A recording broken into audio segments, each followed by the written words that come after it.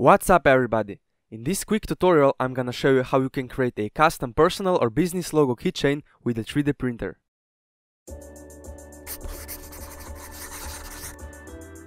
I start this project with firstly choosing a logo that I want to have on my keychain. Simply vectorize the image in any vectorizing software and export it as DXF format.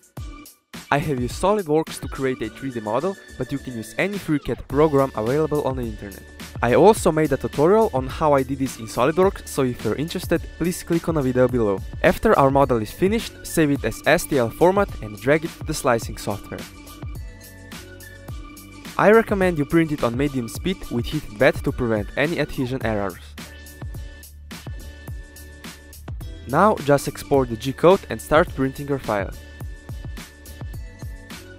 While waiting for print to finish, some of you asked me which filament do I use and I would like to introduce you a company called Rigid.ink. They offers you a wide variety of colors to choose from and the quality of any print is outstanding.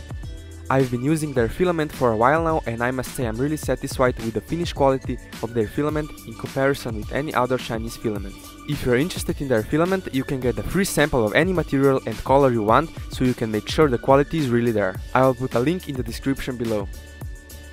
Now let's move back to the project. Once the file has been printed, I wait for bed to cool down and slowly remove logo from the bed.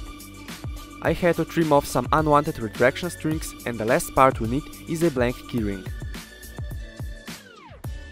Slowly put on your logo and the keychain is finished.